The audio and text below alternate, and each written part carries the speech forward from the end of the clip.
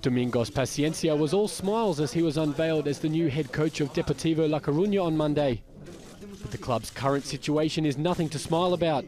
They're bottom in La Liga, three points adrift of safety heading into 2013.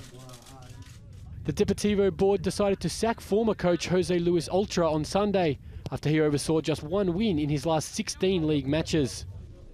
Survival in the top flight will be Paciencia's number one priority, and he's hopeful that goal can be achieved.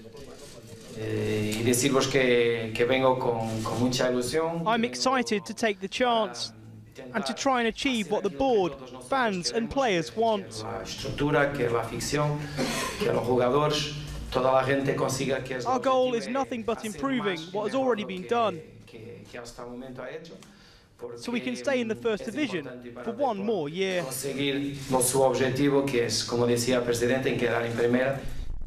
It's Paciencia's first senior appointment since he was sacked by Portuguese club Sporting Lisbon in February. His first game in charge will be against high-flying Malaga on Saturday, giving him only five days to get to know his squad. I will not have problems because I already know the most used players, the whole squad, so it won't be a problem. But yes, it's true that we are short of time to prepare for our next game against a great team like Malaga. De gran valor que es como Málaga.